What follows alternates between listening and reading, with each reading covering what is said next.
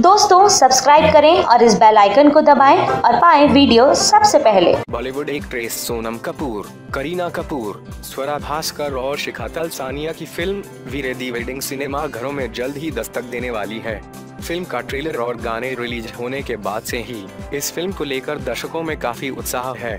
वहीं कुछ लोग इसे क्रिटिसाइज भी कर रहे हैं। अब इस फ़िल्म को पाकिस्तान में बैन कर दिया गया है। फ़िल्म की रिलीज़ से महज एक दिन पहले पाकिस्तान में वीरे दी वेडिंग को बैन कर दिया गया है। इस फ़िल्म की कहानी चार दोस्तों पर आधारित है, जो अपनी ज़िंदगी को बिना किसी शर्त के जीना चाहती हैं। फ़िल्म का निर्देशन शशांक घोष ने किया है, और फ़िल्म को रिया और एकता कपूर द्वारा प्रोड्यूस किया गया है। फ़िल्म को पाकिस्तान में आपत्तिजनक सीन्स और अश्लील डायलॉग्स के चलते बैन किया गया है।